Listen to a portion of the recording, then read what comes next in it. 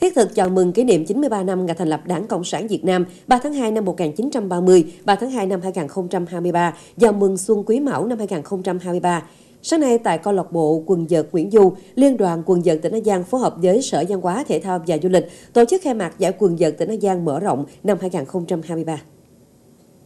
Giải quần vợt tỉnh An Giang mở rộng 2023 có gần 180 vận động viên trong và ngoài tỉnh tham gia tranh tài ở ba nội dung: đôi nam trình 1.300 điểm, đôi nam trên 1.600 điểm và đôi nữ phong trào. Giải quần vợt tỉnh An Giang mở rộng là giải thể thao truyền thống hàng năm của Liên đoàn quần vợt tỉnh An Giang nhằm góp phần đẩy mạnh thực hiện cuộc vận động toàn dân rèn luyện thân thể theo gương Bắc Hồ chỉ đại, tạo điều kiện cho các vận động viên gặp gỡ giao lưu rèn luyện sức khỏe, thúc đẩy phong trào thể dục thể thao nói chung, phong trào quần vợt trên địa bàn tỉnh nói riêng phát triển.